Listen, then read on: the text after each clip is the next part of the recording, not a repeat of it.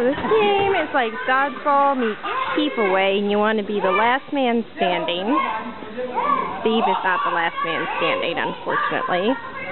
Um, you throw the ball, you try to hit people, but you, or if you're not the person throwing the ball, you can kick the ball away. And if you get out, you're supposed to help the guy who's throwing the ball.